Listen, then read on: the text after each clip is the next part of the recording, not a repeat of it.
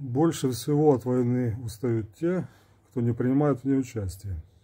Такой вот шутливый афоризм написал я 23 мая 2023 года. Но сейчас 20 декабря 2023 года. Это уже превратилось в какую-то пандемию. Сейчас уже не до шуток просто-напросто. Сейчас от войны устали все. Европа, Америка, там, я не знаю, Океания. Никто уже не хочет воевать, пишут мне, блин, из Европы. А до этого хотели. То есть я типа не за станком хотел стоять, а хочу, чтобы как в 2014 году мне опять мыши в блиндаже по лицу бегали, да? Причем здесь хочешь, не хочешь. То есть ты как бы, ну, либо ты готов защищать там страну, дом, ну, либо ты сдреснул куда-то.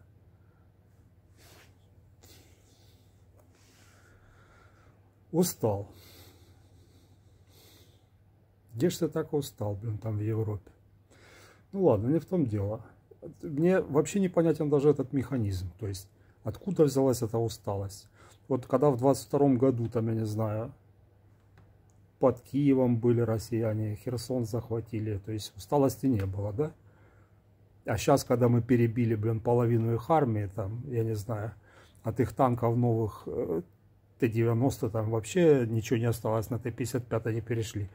А мы, в свою очередь, ожидаем, что к нам придут там какие-то, ну да, запоздали запасы, не рассчитали мы по поводу того, что собирались в этом году дойти до Азова, до Азовского моря, до Крыма. Ну, чуть-чуть промахнулись немножко смежники подвели, где-то сами, наверное, протупили. Не надо все, конечно, сваливать там на поставки вооружения. Ну так что? Из-за того, что мы план сдадим не сегодня, а завтра, это как-то меняет ситуацию, что ли? Как-то меняет тот факт, что от российской армии, где российские ракеты? вот эти вот, я там, там в Фейсбуке фотографии, все, наверное, уже понафотографировались в этих воронках. Я там метр восемьдесят четыре, я стою на этой дне воронки, блин, меня не видно нифига. Это где эти 2500 бомб, по-моему, то есть ракет они напустили уже по Украине россияне. У них нету столько же сейчас, уже все, тю-тю.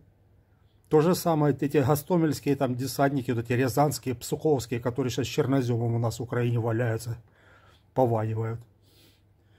Что у нас сейчас? Z-шторма, вот эти уголовники, блин, нафиг.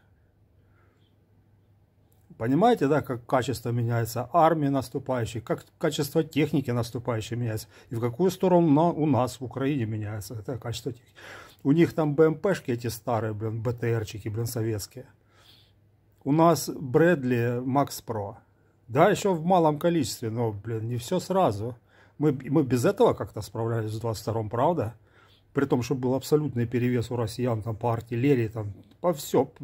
Черноморский флот, где, второй раз говорю, в заду, на дне Черного моря. Крейсер Москва там и куча всякой еще. Э, подводную лодку подбили ракеты впервые в истории украинцы. Расхренячили просто весь этот Черноморский флот, который по договору Харьковскому до 42 по-моему, года должен был стоять. Нет, все равно что-то не так. Устали от войны. F-16 подходит? Да, позже, чем хотелось бы.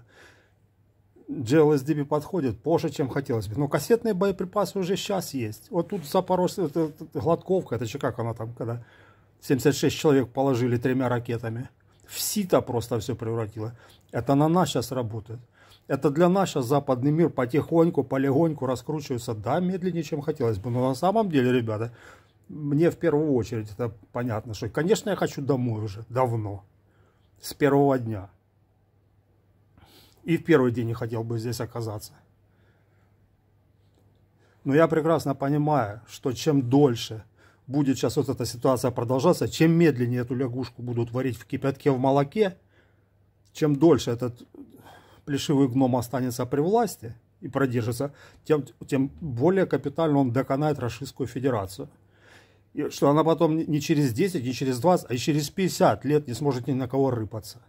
Поэтому как бы как для гражданина, для меня, конечно, мне домой так хочется, как для человека. Но холодным умом я понимаю, что чем дольше это будет продолжаться, чем больше ресурсов сейчас будет вбухивать сюда Рашкастан, за, наш, за, за счет нашей крови, за счет наших жизней, но мы обеспечиваем тем самым нашим детям, нашим грядущим поколениям какую-то нормальную жизнь без опаски того, что это жаждущая крови тварюка в виде Российской Федерации, блин, или там Российской империи, или Советского Союза, или, блин, я не знаю, что там будет Российская Республика, что останется после Путина там, кроме головешек на месте этого Мордора. Чем дольше это будет продолжаться, тем больше соков сюда, чем больше крови сюда российской будет поливать вот, ну, нашу украинскую землю, тем лучше для наших потомков. Я, ну, как бы я за себя говорю, мне уже полтинник, да, мне уже как бы терять нечего. Но подумайте об этом. Хватит уже нафиг уставать. Кто устал, тот, блин, нафиг, ну, я не знаю, что. Сидите дальше в Европе. Ну, хватит мозги компасировать что нету того, кто хочет уже воевать. А они были, блин, вообще, что кто-то сидит дома и ждет, пока пойду-ка я повоюю, блин, чтобы по мне снаряды бы прилетали, чтобы меня землей попросыпало.